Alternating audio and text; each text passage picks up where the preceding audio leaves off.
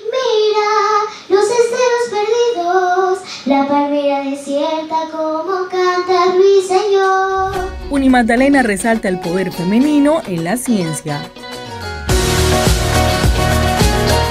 Un discurso en honor a distintas mujeres que a lo largo de la historia han hecho grandes aportes a la ciencia, el doctor Pablo Vera Salazar, rector de la Universidad del Magdalena, recibió a docentes, estudiantes e instituciones invitadas a la celebración del Día Internacional de la Mujer y la Niña en la Ciencia. Fue una experiencia muy bonita, de mucha visibilización, de mucha articulación, porque vemos cómo la universidad vincula a la escuela normal en este espacio y lo que buscamos es eso, hacer alianzas interinstitucionales que permitan visibilizar el trabajo que se está haciendo desde los semilleros como estrategia que viabiliza y forma a todos estos niñas y jóvenes en el distrito de Santa Marta. Con una elocuencia encantadora, niñas desde los 9 años y adolescentes de la Escuela Superior Normal María Auxiliadora expusieron todos los conocimientos que han adquirido desde que decidieron sumergirse en el mundo de la investigación. Me sentí muy orgullosa de mi institución cuando nos informaron sobre este proyecto desde el principio y hoy me sentí excelente. Nosotras somos las que debemos primeramente creer